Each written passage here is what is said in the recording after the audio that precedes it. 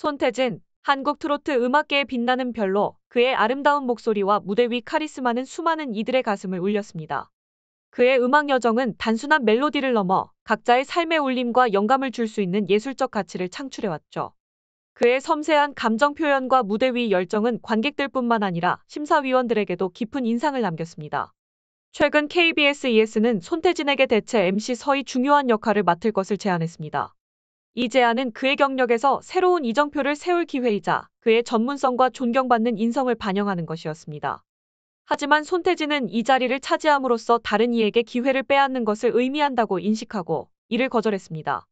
이 결정은 그의 겸손함과 헌신적인 태도를 보여주며 그의 예술적 경력뿐만 아니라 인간적 가치를 높이는 데 기여했습니다.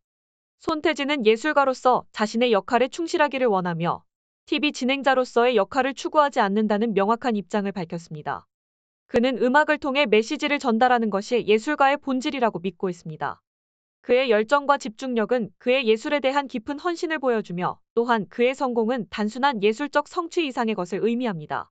손태진은 경쟁적인 엔터테인먼트 산업에서 동료에 대한 친절과 고귀한 정신으로 존경받고 있습니다.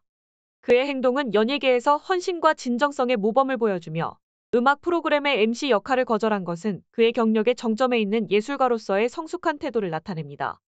손태진의 여정은 다른 예술가들에게 영감을 주며 엔터테인먼트 산업에서 성공의 기반을 마련합니다. 그의 성공과 존경은 개인적 성취뿐만 아니라 다른 이들에게 미치는 영향력으로 측정됩니다.